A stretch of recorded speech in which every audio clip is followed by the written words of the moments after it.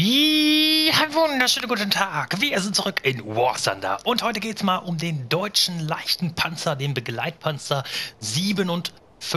Ja, hier ist das schöne Ding und äh, ich muss sagen, mir gefällt er persönlich sehr, sehr gut, obwohl er natürlich jetzt ein bisschen genervt wurde, in Anführungsstrichen, ähm, weil die jetzt nicht mehr in voller Fahrt ihre Raketen schießen können. Was ich aber auch erstmal soweit in Ordnung finde, muss man ja auch sagen. Ich dachte immer, der Brantley, der, der von den Amis, der hier, ganz kurz, dass der dem Ganzen etwas äh, überlegen ist, aber das stimmt gar nicht so ganz, weil äh, der kann zwar während der Fahrt schießen, so, aber ähm, ja, diese Raketen, die müssen ja jetzt rausklappen bei dem. Das ist ein bisschen bekloppt, wenn er mich fragt. Aber naja, ist ja auch so. Ich bin bei dem noch nicht von das gesehen. Spiele ich dann gerne meinen Begleitpanzer.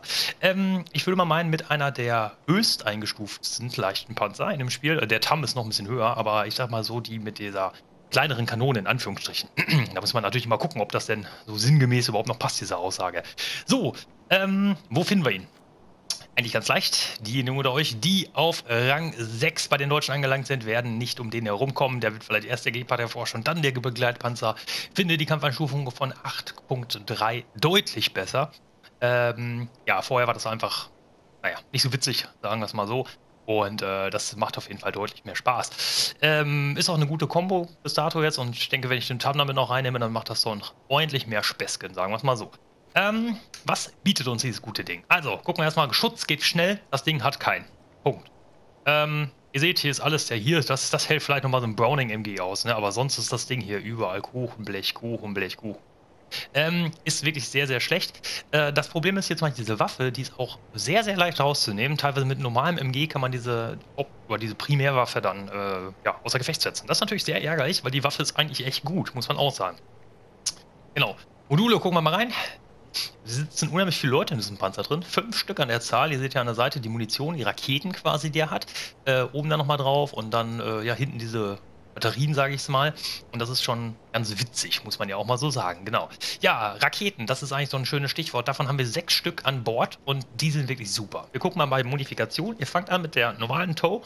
Ähm, 430 mm Durchschlag hat das Ding. Upsala. Ähm, das ist schon nicht schlecht, muss man sagen. Und wenn man auf 8.3 spielt, dann ist das auch echt gut. Wenn man nachher, wo der da doch bei 9.0 war, da war das dann, ja, weiß ich nicht. Viele Panzer, die ignorieren das dann einfach.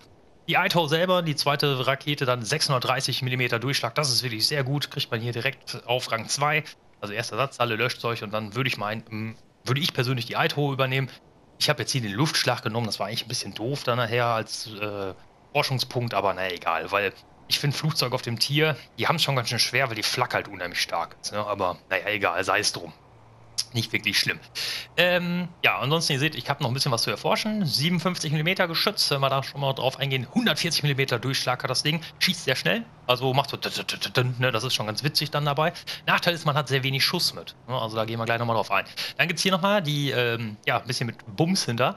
Uh, unheimlich viel TNT-Äquivalent, 127,5. Das uh, ist natürlich jetzt, weil es viel Hexal, ne? das, also das ist eine ganz andere Sprengstoffart. Sonst würde man ja denken, hey, warte mal, 127 mm bei 57 mm äh, Kaliber, das ist natürlich schon ganz schön viel. Ähm, ist natürlich dann ein sehr moderner Panzer, ne? verglichen mit Zweite Weltkrieg-Panzer, natürlich. So, ähm, Mobilität bin ich noch nicht so drauf gegangen, weil die Mobilität von diesem Panzer ist in Ordnung. Das muss man einfach so sagen. Das ist für einen Stockpanzer ist das wirklich vollkommen in Ordnung und damit kann man durchaus leben.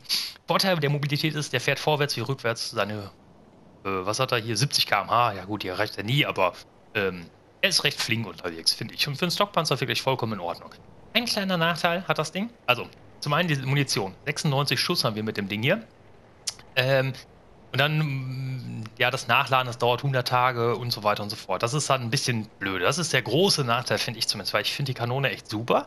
Aber wenn sie halt leer ist, dann dauert das ewig. Auch das Aufsammeln neuer Munition dauert 100 Jahre. Das, das muss unbedingt geändert werden, finde ich zumindest. Weil wenn man den wirklich mal richtig gut spielt, ähm, ja, dann ist die Munition halt mal alle. Das ist ja auch in Ordnung. Raketen lädt er relativ schnell nach, sage ich mal. Sechs Stück sind auch wirklich in Ordnung. Das ist ein gutes Mittelmaß so von diesen ganzen äh, leichten Fahrzeugen. Und da muss man dann wirklich gucken. Genau. Ja, 28,5 Tonnen bringt er auf die Waage, 531 PS, das ist eigentlich nicht schlecht. Das wie so ein Marder ist das, ne? Und äh, hat schon ganz schön was. Äh, die Kanone dreht sehr langsam. 15, oder 15 Grad pro Sekunde, das ist nicht sehr schnell. Wenn wir gucken, wir sind bei 20 Grad pro Sekunde. 17 Grad, der ist auch noch nicht ausgebaut dabei.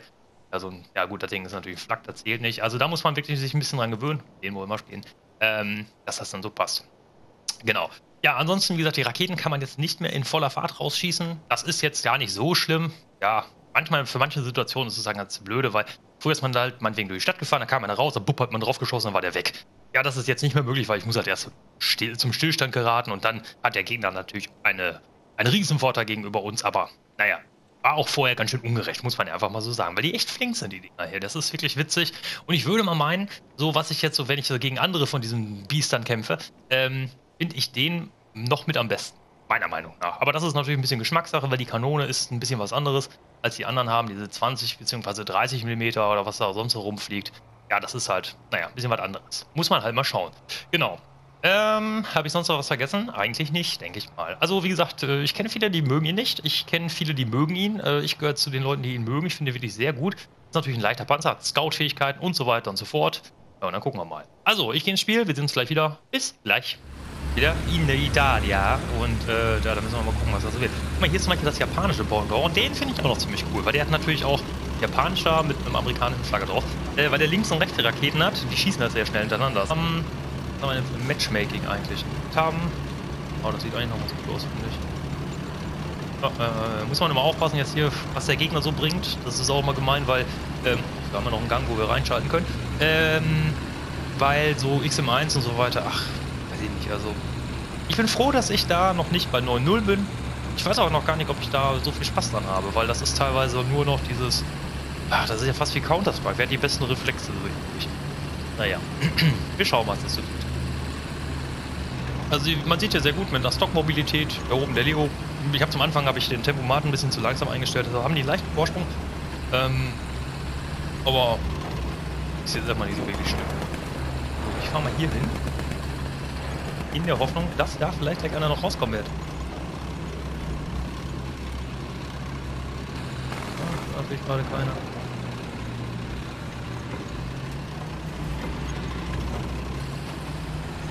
Ne, da ist keiner, okay.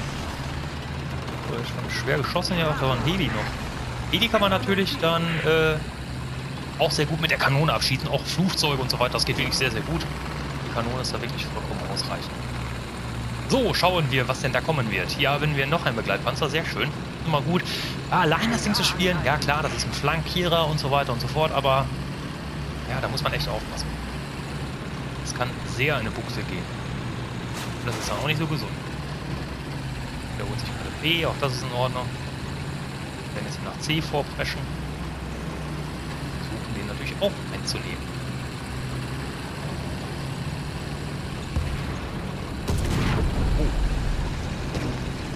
Artillerie hier gerade.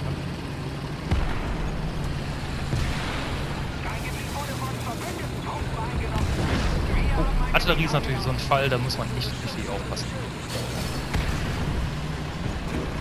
Hier fliegen schon wieder die Raketen. Ja. Eieiei. Ich pausiere hier mal gerade. Links waren dran, okay. Ah komm, wir kommen mit, Kollege, wir kommen mit.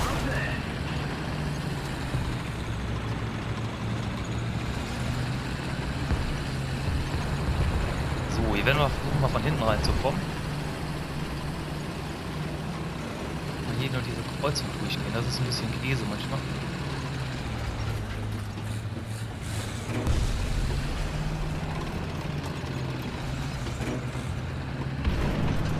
Können wir wagen, oder? Oh, schnell weg, schnell weg, schnell weg. Das ist wirklich sehr gut.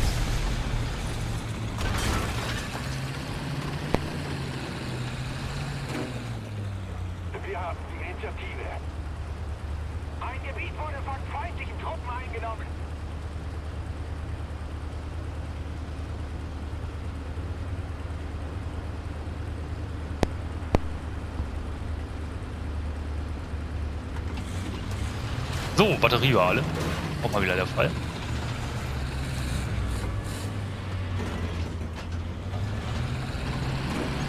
Ja, ja, okay.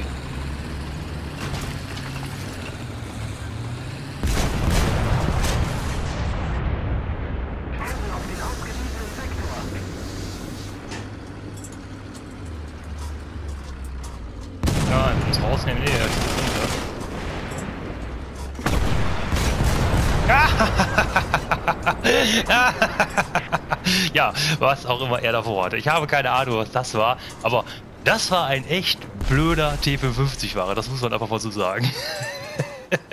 ja, äh, hm. okay, wir haben zwar eine lange Reparaturzeit jetzt, aber das ist nicht schlimm. Wir versuchen trotzdem unser Bestes. Oh, ist ein kleines Match hier. Naja, da haben wir auf jeden Fall sehr schön gesehen, ähm, ja, für den, der dachte, hey, den habe ich im Brand geschossen, er hätte sich einfach ein Stückchen weiter oder drehen müssen. Er hätte mich locker holddown oder kaputt schießen können. Na egal, hat er nicht gemacht, ist ja auch gut so. so, jetzt müssen wir natürlich erstmal die Karre hier gleich wieder bewegen. Sehr ärgerlich, sowas. Oder hat der Schieflenker den Flakpanzer rausgenommen, der da war? Mal schauen, da wird natürlich auf offenem Feld was sein. Ihr seht, 43 Schuss haben wir jetzt noch in dem Magazin drin.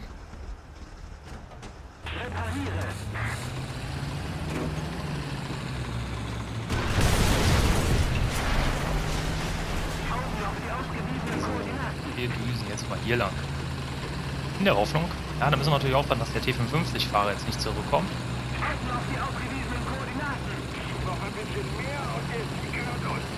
Dann fahren wir mal hier ganz außen rum.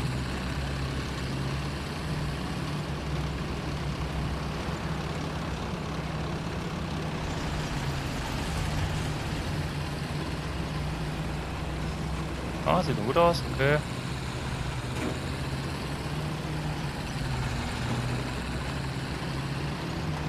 Aber sieht, wie gesagt, die Mobilität, ich finde sie wirklich in Ordnung. Ist natürlich hier ein schönes Terrain, was er auch sehr gerne mag, sowas.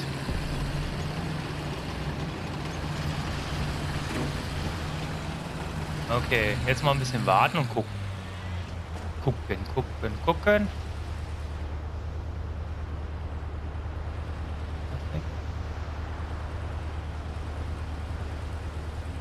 Was fährt? Auge auf die Karte. Feindliche Truppen haben ein Gebiet eingenommen. Ausgezeichnet. Da ist er.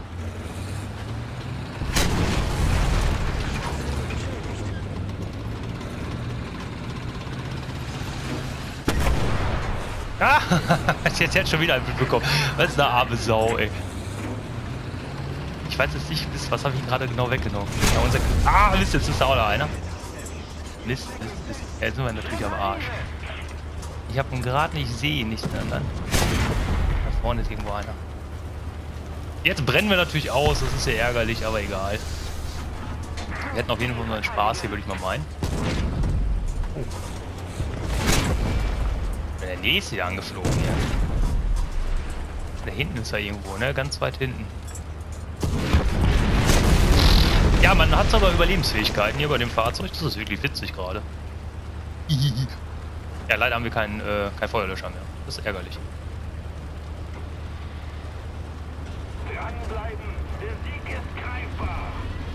Steiger ich jetzt raus, weil dann kriegt nämlich der andere den Kill. Nicht der äh, T55-Fahrer. Aber wir haben noch einen. Das ist ja das Schöne dabei. Also man sieht auf jeden Fall, das Ding hat was. Ich starte jetzt mal oben. Ah, ich starte mal oben. Ja, gerade der T55-Fahrer hat ordentlich mitbekommen. Ich könnte das Ding jetzt nochmal anders C, ja komm, wir müssen eigentlich Punkt C verteidigen. Aber es bringt doch nichts. Wir wissen ja, was auf Zukunft. E55 at at C. Da, Marge. So. Also, kurze Info an die Kollegen geben, dass sie auch wissen, was soll ich da, äh, oder was die erwarten könnte. Das ist ja auch mal die Frage dabei. Aber auch das ist wirklich immer so ein Fall dabei. Oh Mist, da P47 ist wenigstens abgeschmiert, das ist schon mal gut. Wir haben noch drei. P47 wird, denke ich, mal wiederkommen. Zwei Kills, obwohl, wird eng werden, ne? Auf jeden Fall nicht in den Fluch zu. So, jetzt müssen wir Gas geben. Damit wir C auch verteidigen können. Und ihr seht, wie gesagt, die Geschwindigkeit ist vollkommen in Ordnung. Und wenn ihr ein Ziel seht, immer erst scouten und dann erobern. Ganz, ganz wichtig. So, jetzt wird's eng, weil der jetzt natürlich jetzt erstmal rausfahren wird. Das ist auf jeden Fall der T55-Fahrer, der sich vielleicht sogar noch ein neues äh, Teammember holen wird, weil ich habe ihn da wirklich sehr stark getroffen.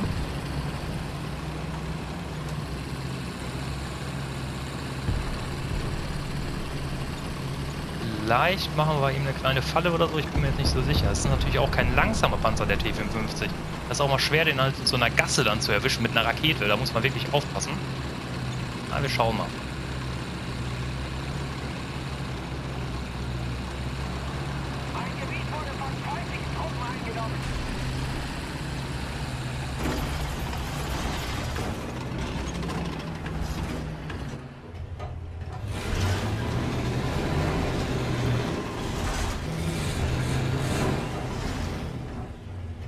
So, wo könnte er jetzt sein?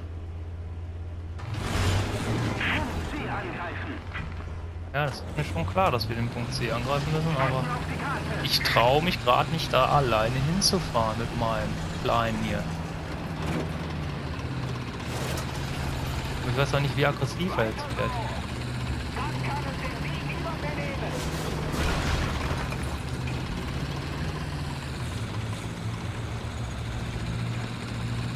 So. Wo steht er?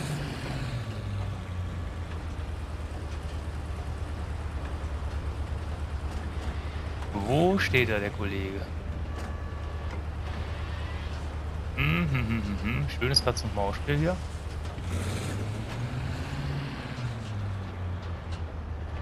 Da steht er nicht. Ich kann mir nicht... Ja, das ist ja auch schon klar. Ich kann mir jetzt nicht vorstellen, dass er hier einfach weggefahren ist, ehrlich gesagt. AT55 hat leider den Begleitpanzer da hinten rausgenommen.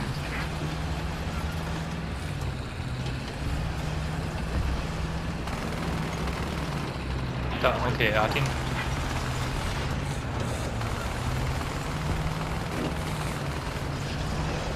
Wer brennt jetzt? Wer brennt jetzt? Der T55 oder der Leo? Schnell hinfahren zum Meer. Helfen, ganz wichtig.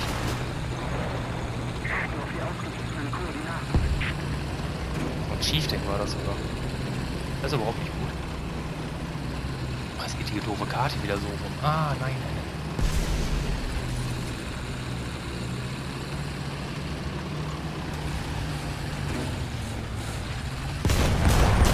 So, das geht nämlich auch damit. Sehr gut.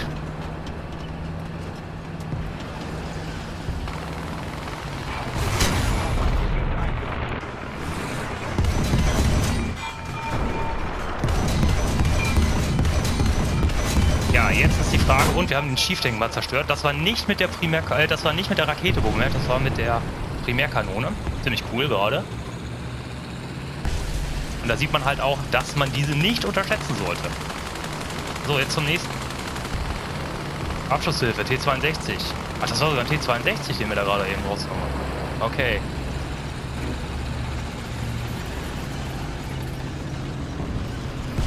Was fliegt da oben? Ne, U-288, okay. Jetzt brauchen wir Hilfe.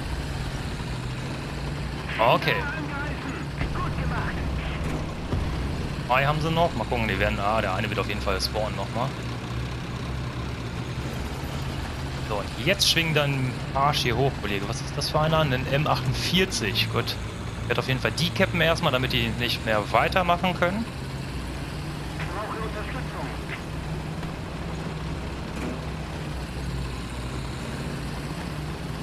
Okay, ein Flugzeug in der Luft. Meteor. Sehr gut.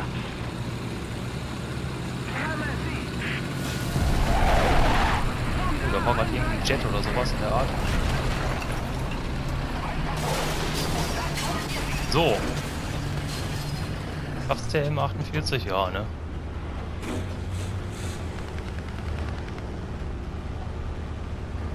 Eieieiei, das ist ein heißes Match hier gerade. Oh, guck mal da. Die geht leider runter, glaube ich. Oder? Da, fliegt, da fliegen effekt Teile weg. das ist schon heftig. Ah, der M48, das sollte schaffen. Da vorne kommt er. Sehr gut. Alle dabei. Wollen wir uns. Oh. Ja, eine der Kugelblitze ist auch drin. Das ist natürlich noch viel, viel besser dann. So, zwei Leute hat er noch. Eine davon ist eine Flak. Also versuchen wir jetzt die Flak. Weil die Flak ist natürlich für uns ein Riesengegner, muss man einfach so sagen. Das ist richtig böse.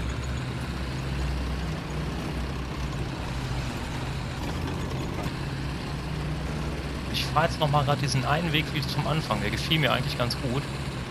Ich will nicht zu viel riskieren. Wir haben natürlich sehr viele Flachs nur, das ist sehr ärgerlich. Wobei das natürlich auch gute Flachs sind, keine Frage, aber ah, wenn da jetzt irgendwie so ein, weiß ich nicht, ein richtiger Brocken um die Ecke kommt, dann muss man da natürlich auch sehr aufpassen. Irgendwo da reinfahren. Egal, fahren wir hier rum. Wir sind ja mobil, oder wie sagt man, ne?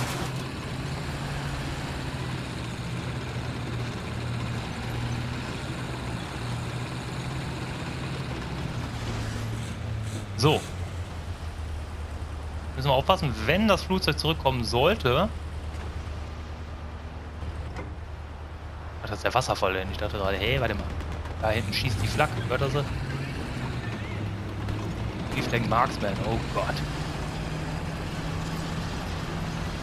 Der ist sauer.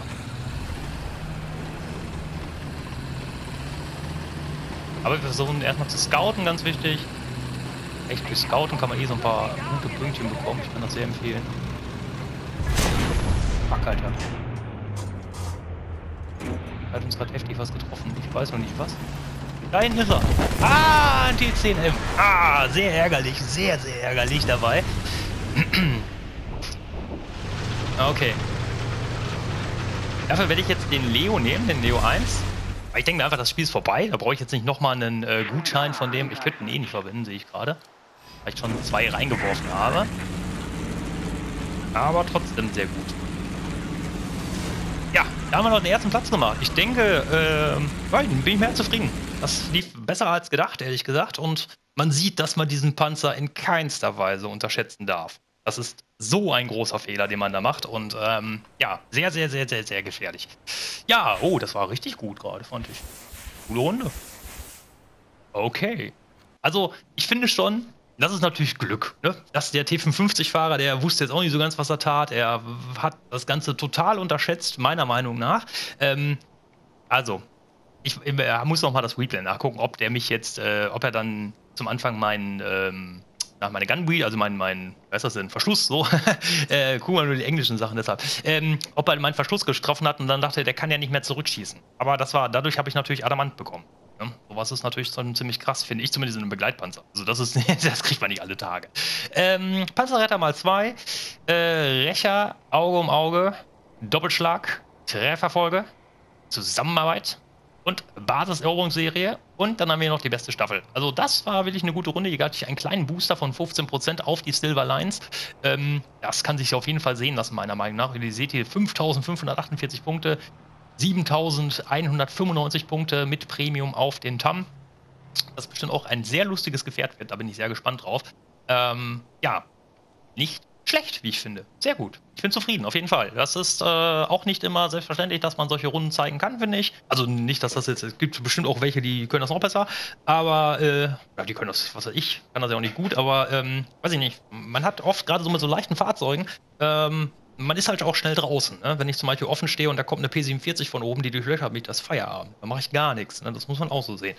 Ähm, ja, ist ein bisschen ärgerlich.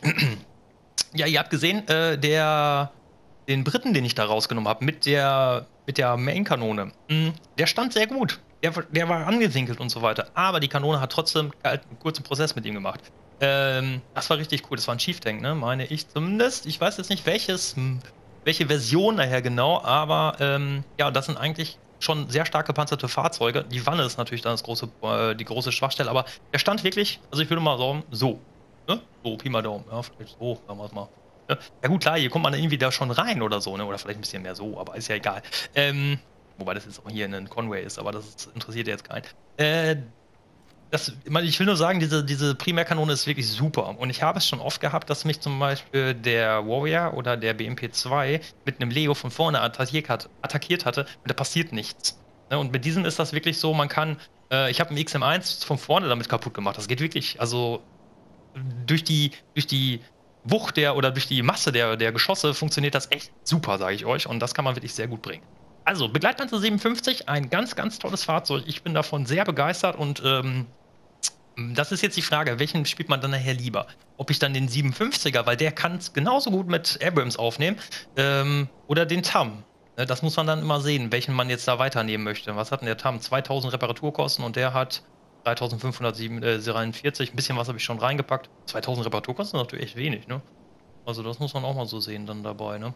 Naja, müssen wir mal schauen. Auf jeden Fall ein super Panzer, ich mag ihn sehr.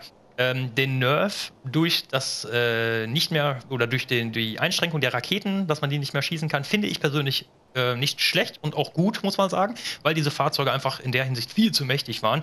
Aber man sieht ja auch, man braucht gar nicht immer so Raketen und äh, ja, das klappt dann halt auch ganz gut. Also macht schon Laune. Genau, ich hoffe, das Ganze hat euch Spaß gemacht. Auf 8.3 ist dieses wirklich ein sehr, sehr gutes Gefährt. Ähm, ob man jetzt den Leo damit beinimmt mit 8.7, es macht nicht wirklich viel Unterschied, weil wenn er Pech habt, spielt er halt gegen XM1, das ist dann nicht so geil. Und wenn er Glück habt, dann spielt er nicht gegen die und dann macht Spaß. Ja, das ist halt immer so. Es ist aber auch so, dass wenn ihr nichts gegen die XM1 fahrt, dass das hier nicht overpowered ist, muss man auch mal so sagen. Genau. Also, in diesem Sinne, ich hoffe, es hat euch Spaß gemacht. Dementsprechend würde es mich natürlich freuen, wenn wir uns das nächste Mal wiedersehen würden. Wenn es wieder heißt Warsun. In diesem Sinne wünsche ich euch einen schönen Tag, einen schönen Abend, einen guten Morgen, Mittag, Mahlzeit, Brotzeit oder was auch immer ihr macht. Macht's mit Freude oder trinkt auch mal einen Tee bei dem Wetter. Sehr zu empfehlen. Und ähm, ja, dann wird es dann schon was werden, denke ich mal. Also, vielen Dank und ähm, ja, mal schauen, was es als nächstes gibt. Ich habe jetzt hier, also äh, schon mal einen kleinen Ausblick gibt, den Walker Bulldog hier ist, glaube ich, der Walk. Doch, der heißt so genau. Äh, ich habe eine Runde damit gespielt und leider haben wir die Runde verloren, aber das war keine schlechte Runde. 1232 Punkte mit dem gemacht. Ähm, das Ding ist wirklich witzig, muss ich sagen. Das Ding ist super. Ich finde das, ich mag solche kleinen Panzer. Entweder stehe ich richtig auf die fetten Dinger oder. Naja, mal gucken. Also momentan bin ich echt so ein bisschen an den Dinger dahin geblieben. Ja, Dann wir doch Italien. Ah, hm, mit der kleinen Auto und der kleine, überall der kleine Tanks dran. Ja, ja, mal gucken, was das noch so wird hier. Eieieiei. Auf jeden Fall ziemlich cool und ähm, ja, kann man einfach mal schauen, was das dann so wird. Was ich noch empfehlen kann, ist das äh, Line-Up hier. Den kann man vielleicht noch gegen was anderes austauschen. Auf jeden Fall 5.7 der Deutschen macht sau viel Spaß. Immer so zu sehen. Also, ich sag vielen Dank fürs Zusehen und dann sehen wir uns beim nächsten Mal wieder bei War Thunder. In diesem Sinne, bis dann. Ciao, ciao.